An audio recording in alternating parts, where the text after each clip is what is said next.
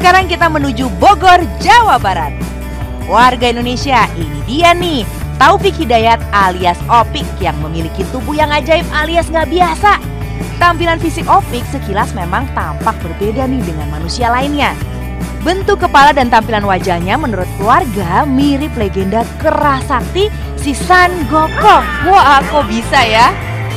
Waktu hamil ibunya itu ngidam apa tuh ngelihat film Sumukong gitu aja terusnya ya begitulah lahir gitu sekitar tiga tahun nah baru kelihatan nggak bisa ngomong gitu Menurut keluarga nih, dulunya Opik terlahir normal. Namun saat usianya menginjak 4 tahun, keistimewaan dan keunikan Opik mulai terlihat di tubuhnya.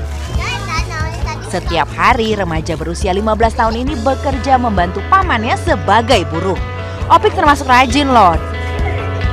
iya katanya kalau lihat orang-orang mah dari film itu nah terus sampai sekarang ya tingkah lakunya agak aneh juga kalau misalnya ada yang kerja bakti udah ikut-ikutan gitu cuman kalau dikasih makan itu nggak mau kasih buah aja gitu kasih uang nggak mau dilempar gitu orangnya mah rajin gitu doang Oh iya, bener. Opik paling seneng kalau dikasih makan buah. Jambu atau pisang adalah buah favoritnya tuh.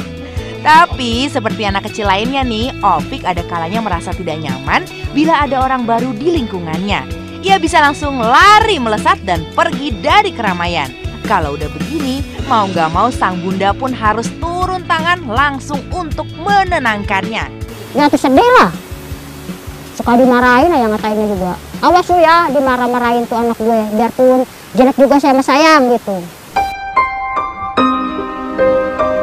Sayangnya nih warga Indonesia, kondisi Opik tidak pernah diperiksa sekalipun ke dokter.